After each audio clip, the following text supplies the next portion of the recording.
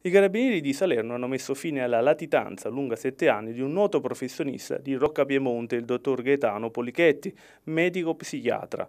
Era stato condannato in primo grado alla pena di 12 anni di reclusione, con sentenza confermata in appello per i delitti di violenza sessuale aggravata dall'abuso delle condizioni di inferiorità psichica perpetrati nei confronti di almeno due pazienti. In seguito al passaggio in giudicato dopo la pronuncia della Corte di Cassazione beneficiava della prescrizione con riguardo ad una delle vicende e conseguiva la riduzione della condanna a sei anni di reclusione. Il medico, subito dopo la pronuncia della Cassazione, si rendeva irreperibile, restando latitante ininterrottamente dall'anno 2011 al 9 giugno 2018.